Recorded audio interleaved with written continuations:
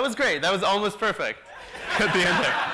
Cool. So we're going to start with um, I heard Andy took a selfie at the start of this, uh, and we're going to one up him. So we're going to do a video selfie of all of us. So what I want everyone to do is be happier than you've ever been in your life. like smiles that seem like excruciating to keep on your face, and then everyone go crazy. Okay? So we're going to do it. That's not crazy. Be crazy.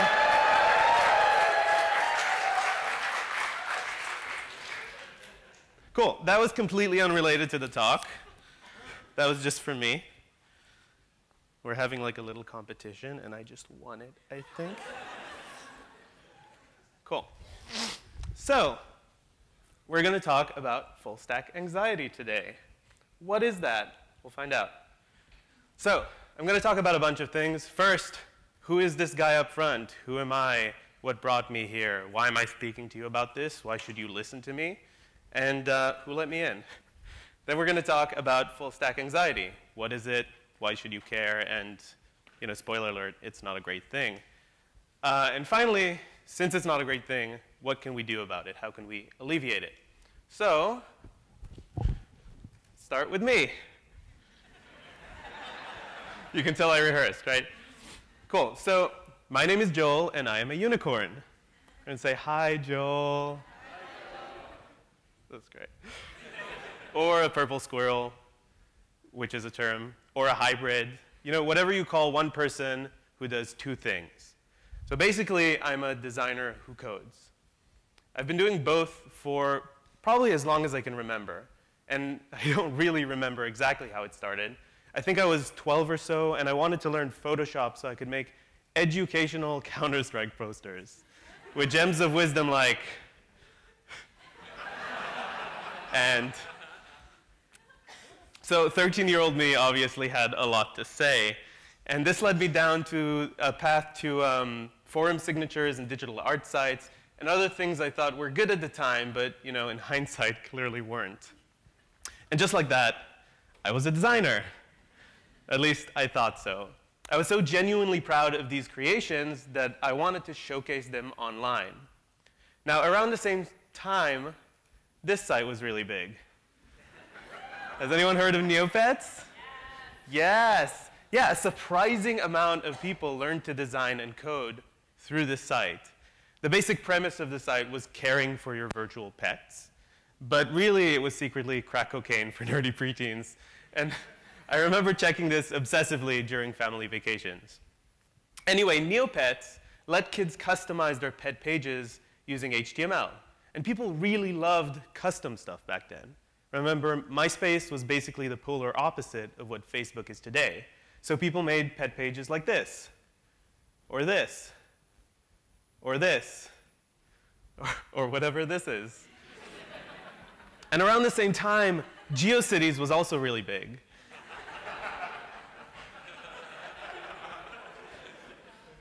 It let anyone, as this demonstrates, have a website. So yesterday's internet was really great at creating developers.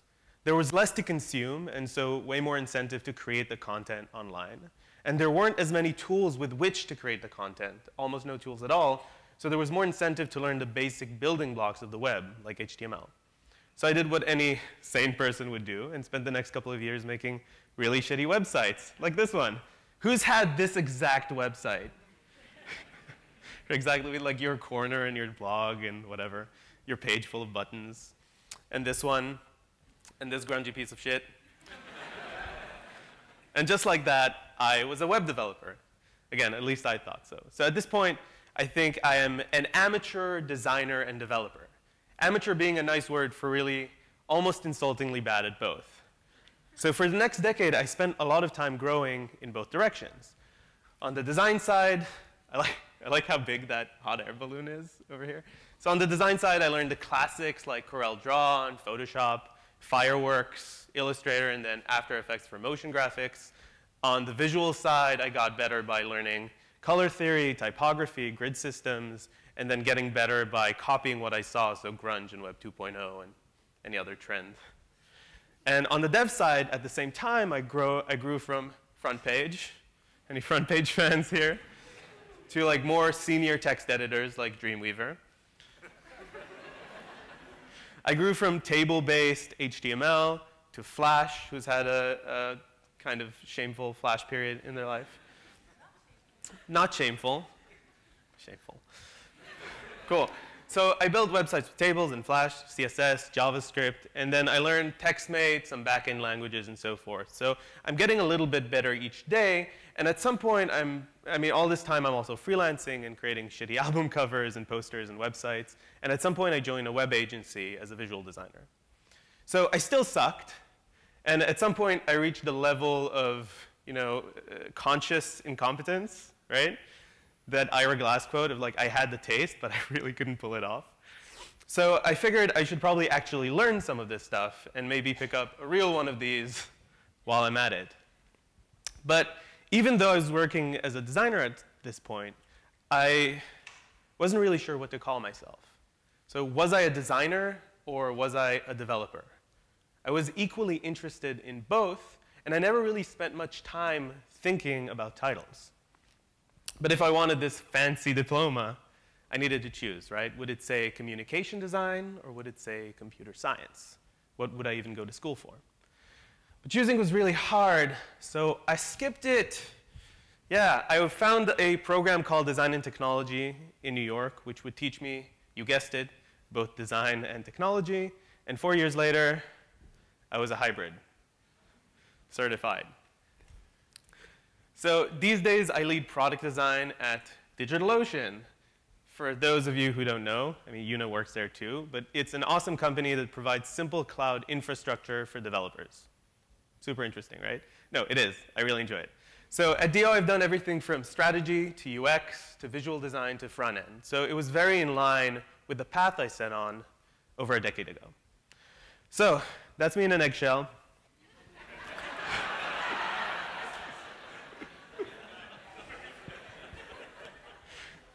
So these days, people usually know me as this sad upside down face guy. Hopefully in real life, I'm less sad, less upside down, and less a cartoon. So hello.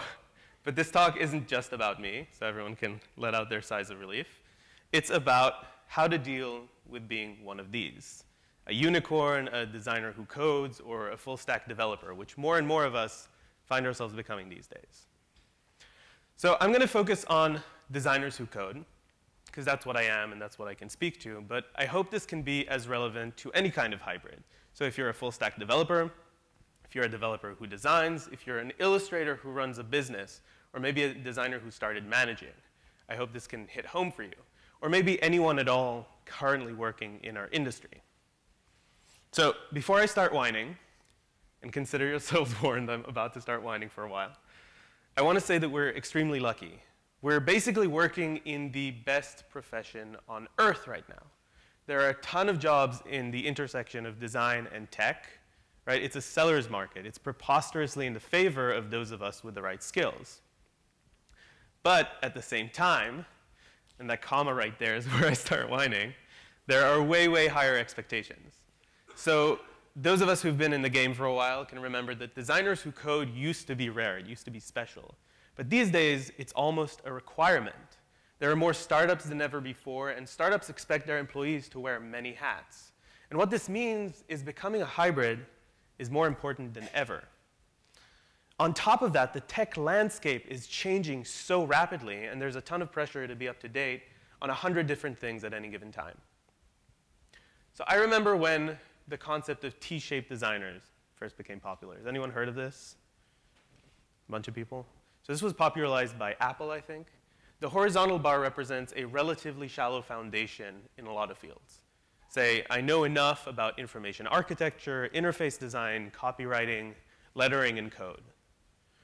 Right? And the vertical bar represents deep expertise in one field, say in user experience specifically, while maintaining that shallow foundation in all the other fields. And the quote, I'm only hiring T-shaped designers, represents really disconcerting employer expectations. Because what they're saying is, I want a specialist, but one who can also do everything else. right? So this doesn't sound easy, right? But it sounds doable. It sounds like we'll do nights and weekends, we'll spend some time, we'll get there.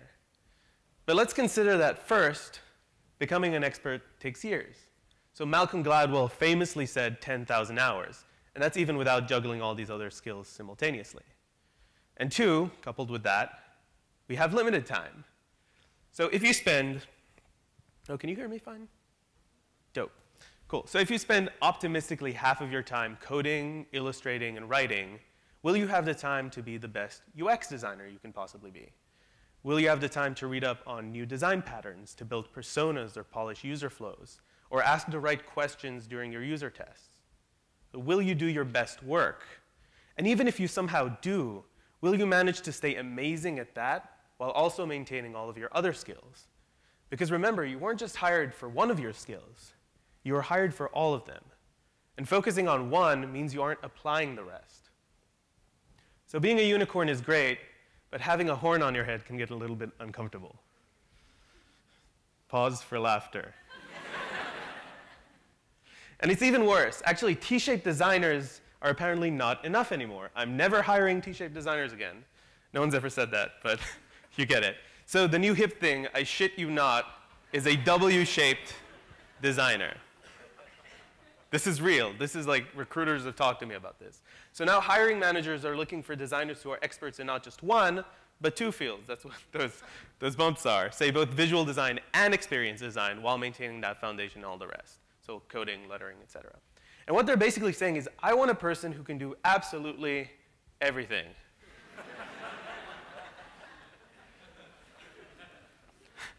so lame T-shaped designers just can't compete.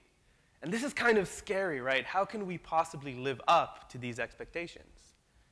And these are really big expectations. So let me take a drink of water. Sorry, it's all the way over here.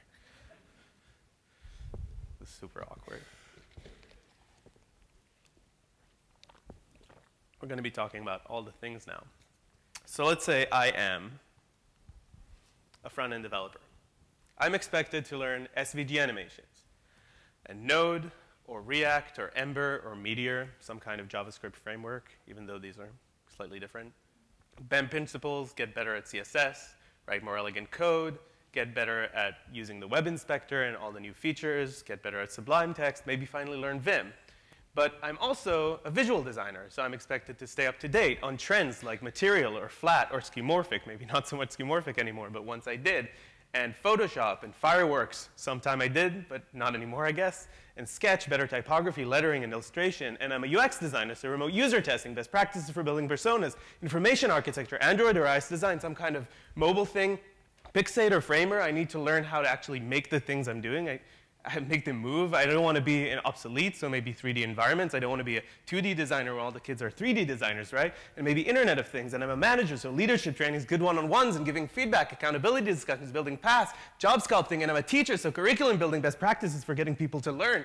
And I'm a consultant, so negotiations and contracts and setting up a business.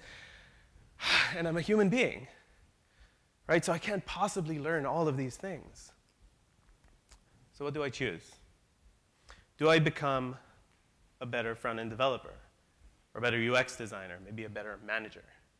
What's more important to me? What's going to be better for me in the future? And if I choose to focus on visual design, do I get better at illustration?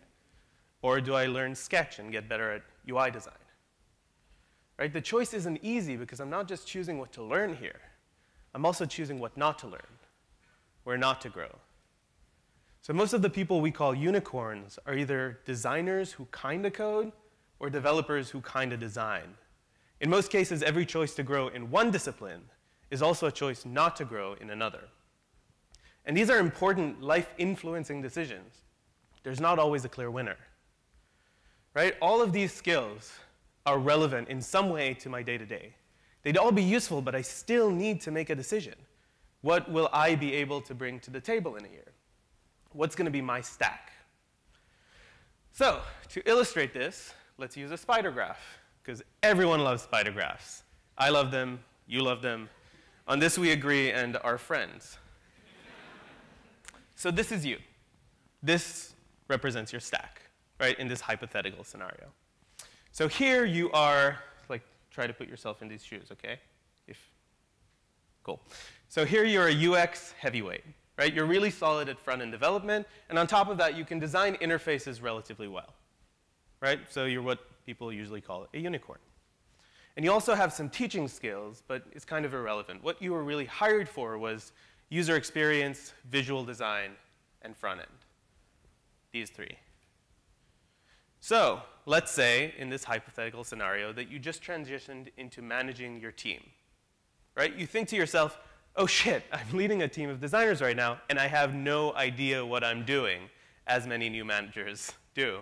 So your priorities have shifted. So, okay, no more fiddling around with JS or Sketch. Got it. So let's do that. Let's grow as a manager. Let's do the training. Let's read the books.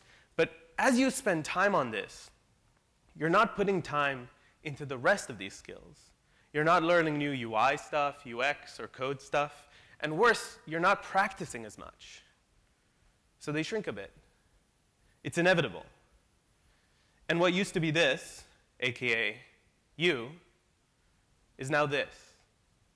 But more importantly, these, the skills that got you the job in the first place, the skills you are hired for, now look like this. And what that means is that getting a job in the future with those same skills is going to be much harder. On the other hand, this, management, now it looks like this, which means you have a better chance at getting design leadership positions, if that's what you want. If you made other decisions, your skill set could also become this. Now you're a specialist, you're an industry expert in UX if you spend all your time on it. Or this if you found yourself focusing more on development instead of design. So what I'm saying is that every decision you make matters a lot. The stakes are real. What's going to make you successful? What's going to make you happy? So a simple question like this, what do I learn, can become really scary. So let's take a look at some of that list again. Do I learn Sketch, or SVG animations, or origami, or Meteor, or get better at one-on-ones, better methodologies for user testing, typography, node, InVision, accountability discussions, follow aesthetic trends on Dribbble, build personas, grunt, gulp, responsive patterns? Every time I go through this list, I feel so anxious. And worse yet, it's actually 10 times as long in reality. And more importantly, is that going to make me this, or this, or this, or this? And what does that mean for my career? And what am I going to be next year? And is that what I want to be? And am I learning too much dev stuff for a designer? And am I a designer? Am I pigeonholing myself? Is this going to get me the jobs I want? What's going to make me happy? Where, where do I even start? Know that feel. So on their own, every single one of these options seemed great. But trying to choose between them, I'm suddenly riddled with self-doubt. Because I'm not just picking a new skill out of a bag, I'm picking a direction, a future. And it all comes down to this one dreadful question. Am I doing the right thing? So this is full stack anxiety. Who's experienced something similar? Pretty much everyone in the room? Yeah, it's the worst, right? It sucks. Cool, so that's my talk. Thanks so much. no, I'm not an asshole. Uh, so let's talk about overcoming full stack anxiety. Six ways that I've found to personally deal with it. Some of these are actually going to be similar to stuff Alice just talked about, which is cool. Some very similar. Cool, I'm just going to leave this open. That's going to end well. So, number one, do the research. So I have this fun, stressful list. But how'd I get it? So before you can make your own fun, stressful list, you need to understand the landscape. And I'm sure many of you already do. So this first piece of advice might resonate most with those of us who are just starting out. And well, I still hope that it can be useful to anyone stepping into unfamiliar territory. So in this example, the unfamiliar territory is the industry, the design industry, the engineering industry, the fashion industry, wherever you work, wherever you live. So this circle is you. I really like diagrams. So you may have just finished a boot camp or a degree, or maybe you just transitioned in from another field. Maybe you've been in this field for a long time, but you've been heads down for so long that you've lost touch.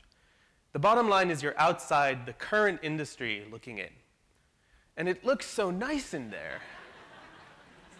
People seem so happy, they're smiling, and frolicking and rolling around in piles of money, and those could be your piles of money. You want to be part of it so, so badly. You just need to get your foot in the door. The problem with this visual metaphor is there is no door, right? There's just darkness. You don't know a clear way in, so you just take a stab.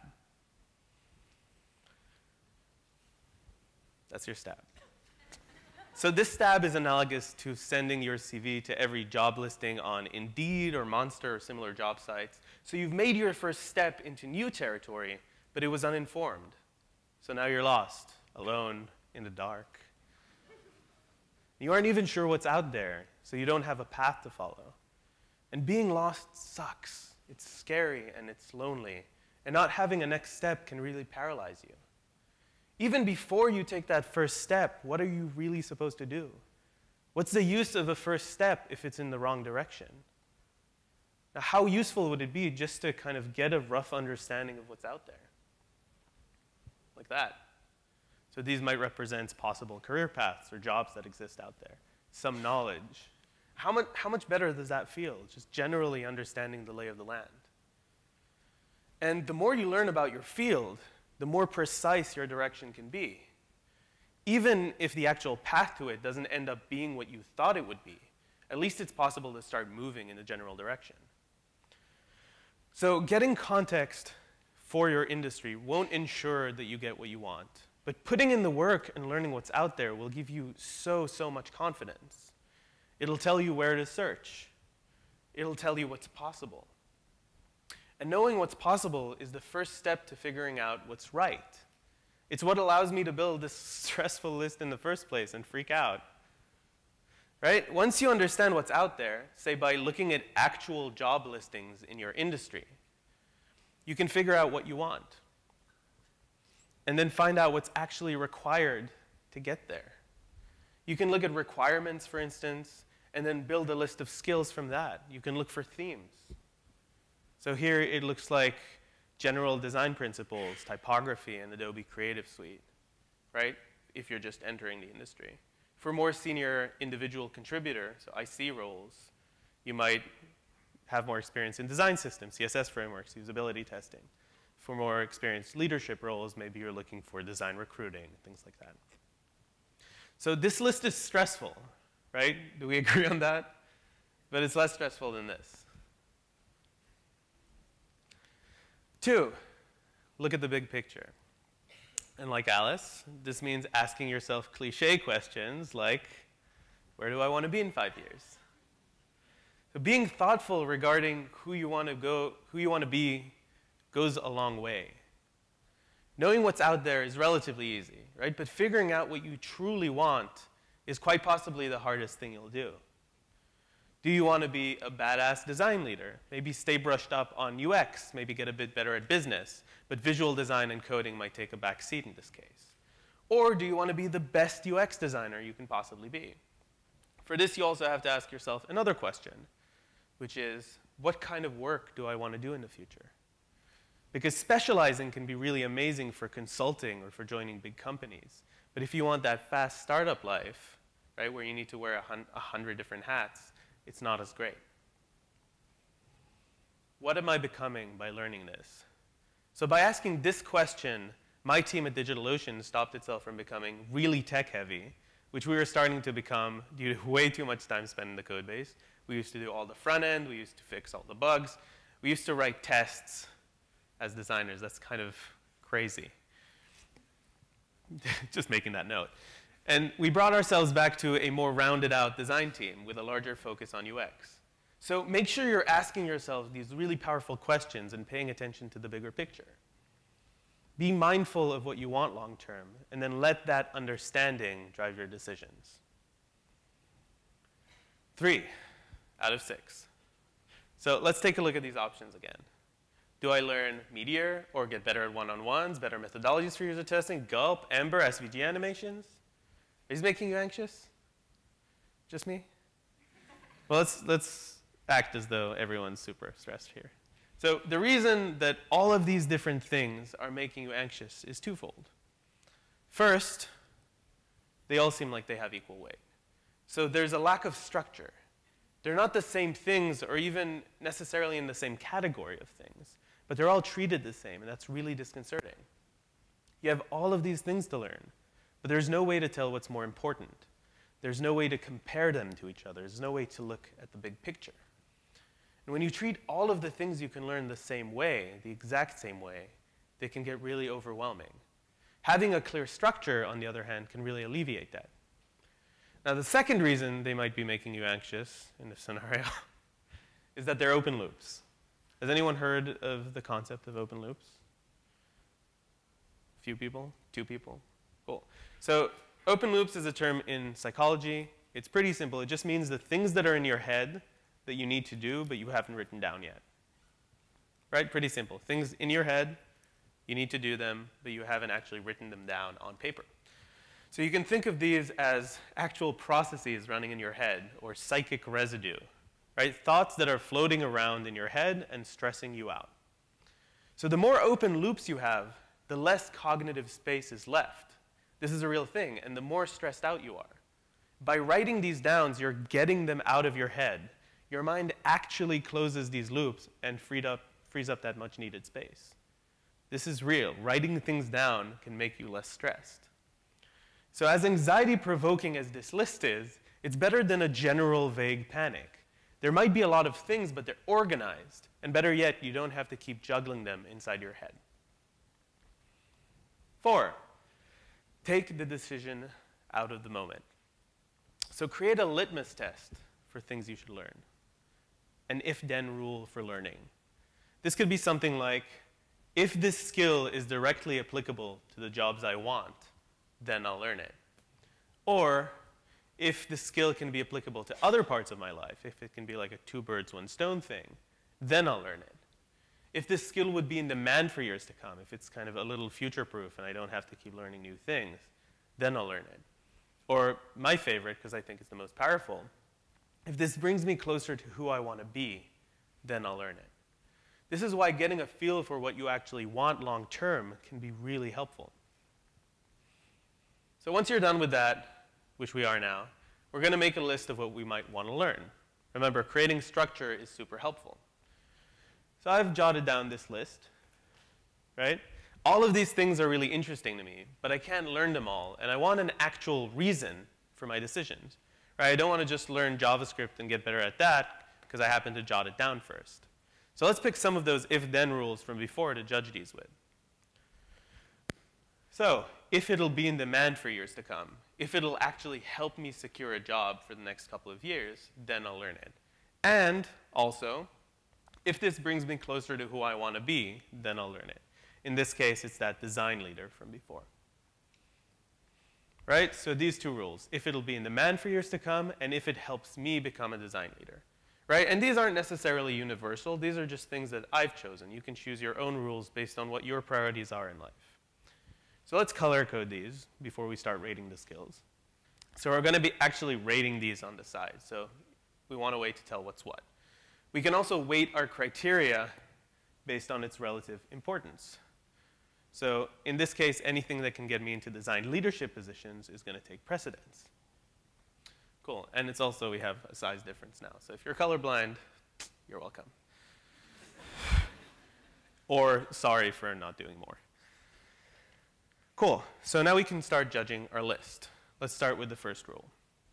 So as you can see, and as you might know, JavaScript and iOS development are pretty sought out, right? If you learn these things and get good at them, chances are for the next couple of years, the foreseeable future, you're going to get jobs with those. User interviews and user journeys are also sought out right now. I don't know for how long, but hopefully for very long. And then Framer, actually being able to prototype the things you're doing is pretty important these days. And design recruiting is always important. Now, the rest of these things, so like Vim, getting better at Sketch, lettering, those things could definitely make you better at your job, right? They likely do. But what we're testing now isn't just like if we like those things and if these things make us better. It's whether these things are specifically going to be in demand, whether recruiters are going to look at your CV and be like, Yes, that's the person. So these get points. And now we can judge these by our second rule. If it helps me become a design leader, which in this case takes precedence. So user interviews and journeys, being able to model users is pretty important as a design leader, at least being able to lead a team in that. Budgeting one-on-ones and career paths also got points. Now you might notice this, these didn't get points in the first one, right? And that's because these things, while they will 100% make you a better design leader, they're not things that are specifically sought out by recruiters. But they still get points here because this isn't about whether they're sought out. And design recruiting is always important. Trust me. So now we can reorder these based on the points that we gave them. So isn't that awesome? Right? We start getting an idea of what's more important to us. But we still can't learn all of this stuff. So let's bring in a more realistic list. Like anything analog, it always exists next to a coffee cup. so this list only has six spots because we, we don't have unlimited bandwidth as much as we'd like that. We can't learn all of the things. So we're setting it arbitrarily at six because that seems maybe a bit more feasible. So let's move our top stuff over, like magic. We're going to learn design recruiting, building career paths, get better at one-on-ones, user interviews, user journeys, and get better at budgeting. Right? These things are in order of importance already. So you start with the first and move on to the next one. This is because I don't have time for everything, right? These things on the left are going to make me better at my job. They're super interesting, right? I want to learn them, but that's exactly why I've created this list, right? I want to take the decisions out of my own hands so I don't keep stressing out and trying to learn those things. So let's focus on these and destroy those. That feeling of power. Cool, so I'm left with a list of just the things that are important to me, and man, does that feel good. it's so relaxing. I've gotten rid of a ton of cognitive load. I've made a list that basically thinks for me, so next time I hear about that cool new ebook, I won't buy it on a whim and then feel guilty for months about not actually reading it. Instead, I'll just blissfully do what the list tells me to do. All praise the mighty list. So, Kierkegaard, because I needed at least one philosopher here, said that anxiety is the dizziness of freedom. Right? And that rings true. Setting up a framework will mitigate that boundless freedom, and with it, your anxiety. Water time. Five out of six. Stop chasing trends. So we all know this story. Sketch kills Photoshop. React kills Angular. BEM kills OOX, and apparently functional CSS is already killing BEM. Atom kills Sublime, Rails kills PHP, and then JS swoops in and kills Rails, right? Some of you might disagree, but you know, whatever. And so forth and so on until the end of time, right? There's always going to be a new thing all of these tools are likely going to die at some point. So just use the tools that are convenient for you. Now, is that something new? Great. No? Still great. So don't worry about being an early adopter. Instead, get better at things that are tool agnostic. Now, this could be typography for designers or programming patterns. Could be user research, management, so forth. Right? If we look at this list, you can see that a ton of these things are tools. And I don't know how long these will last. Will they be around in a decade, for instance? Or am I slightly wasting my time? So prioritize, prioritize transferable skills. You want to build skills that aren't dependent on the now, the current tools, your current job. The more longevity a skill has, the better an idea it is to learn it. Finally, and perhaps most importantly, be happy right? And this is where Alice and I basically have the same talk. So remember, you only get one life, at least if you subscribe to the same belief system I do. And at the end of the day, that life isn't just about work. So about a year ago, when I first gave this talk, or some version of it, my work satisfied me completely. Right? Learning new tools and ways of thinking was challenging and fun, and growing as a manager was so, so fulfilling. But these things ebb and they flow. And I slowly became exhausted with the design industry, with hundreds of new things to learn and new ones popping up all the time, with new opinion pieces on Medium every day, right? With being laser focused on design and management day in, day out for so long, and with building the right, sensible thing. Right? And I got to a point where I was running on empty. I imagine some of you know this feeling. Right? Product design wasn't giving me energy anymore, and I was completely burned out. I desperately needed something else. So I started working on a game with a friend, a Hollywood hacking roguelike, which is a, quite a mouthful, and I can explain what that is later if you catch me. So this game has me neck deep in maths and physics and canvas performance and JS architecture. Right? I spend a good chunk of my time now watching gameplay videos and learning about mechanics. And the truth is, not a lot of this is directly applicable to my career in product design. Right? Not a lot of this is going to come back and help me as a designer. And something that took me a long time to come to terms with is that that's okay. Sometimes a job can just be a job. Sometimes you can take a break. Right? Rat races never made anyone happy. And it's a sad realization that we live in a culture where your career is expected to be your life. Where having enough engineering side projects, for instance, is a standard way of judging engineering candidates. As if we're expected to always be focused on our career rather than going on new adventures, working on our hobbies, spending time on our passions, or enjoying time with our friends. By the way, this is what you get when you search for millennials having fun. Seems pretty accurate. So, no, none of that. Instead, we have the expectation to always be growing, always stay up to date, always move forward towards our next goals, always compare yourself to every other person in the room. And these kind of expectations are unsustainable. They cause so, so much anxiety. And the simple truth is, whatever you end up learning, you'll probably be fine. Now, a friend I really admire, guess who? Is Allison House. so she was almost here this year, um, and if she had been, she would have had way nicer slides than mine.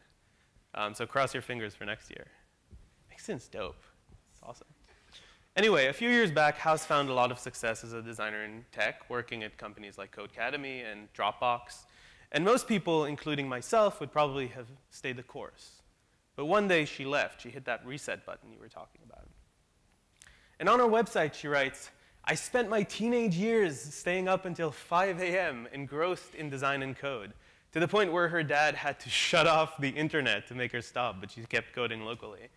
She asks, where did it go, the intensity of that wonder and curiosity? So, two years ago, she picks up 3D for the first time. She calls it the best day of her adult life. And look at her recent work, right? Some of it you saw in Alice's talk. You can tell how much fun she's having, right? Now, House's talk is actually about producing this much work so quickly, or one of her talks. But you don't produce this much without being truly fulfilled. Elle Luna, another product design expat, also talks about this idea in her Crossroads of Should and Must, medium post turned talk turned book in some order. But this is about the idea of choosing between what you should do and what you must do. She writes, should is how others want us to show up in the world, how we're supposed to think, what we ought to say, what we should or shouldn't do, it's the vast array of expectations that others layer upon us. And all of these skills are actually tied to career trajectories, right? They conform to what our culture has taught us is the right path. They're what we should do. Now, must, on the other hand, is who we are, what we believe, what we do when we're alone with our truest, most authentic selves. They're the things that energize us, the things that keep us running. Now, this game, working on it, has been the most energizing thing I've experienced in the last year. Right? It puts me in a flow state where I'm fully immersed, I'm energized, I'm enjoying myself deeply and working for long chunks of time without even noticing time go by. So, another question that's hugely important to ask is what puts you in flow? What gets you energized? What keeps you up until 5 a.m.? Now, this part might seem like it conflicts with the rest of the talk, which focuses squarely on should, but it doesn't need to. Right? So, yes, sometimes it is a trade off. Happiness and success can adversely affect each other. And in these cases, you'll need to decide what you want to optimize for. But more often, I think this is a false dichotomy. Things that make you happy can also make you successful, like most of Alice's talk right before me, right? And it's up to you how to balance how you live. So work can and should be fun too. You're not a robot. You're not learning all of this stuff just to get ahead in life. If you ask me, your end goal should be a career that you're fully satisfied with, right? So do the things that make you happy. So another hugely important rule, or something that can be really legitimate, is if I really enjoy doing it, or if it keeps me up until 5 a.m., then I'll learn it. Do you love illustration? Do you love lettering? Do you love coding up your side projects? Right? Maybe what you really love is working at the bleeding edge. Maybe that's what makes you happy. Now, even if it's not a skill that's relevant to your current job, or one that'll directly help you, you should make time for the things you love. So find a way to build passion into your work. You can grow in your field and have fun while doing it. So these are the six. Do the research. Get the lay of the land. Understand how your industry works. Understand what exists out there. Use that knowledge to look at the big picture and get an understanding for what you truly want. Now, use that understanding about yourself to create some structure. You can use that structure to take the decision out of the moment. Right? Stop chasing trends and prioritize your happiness. So, if you've been listening, and I hope you've been listening, most of this stuff boils down to just being more thoughtful and intentional with your decisions, which is to say, don't just wing it. Right? Your career in its entirety deserves the level of care you put into each and every one of your projects. Your life in its entirety does. So put some time in and design it. Thanks so much.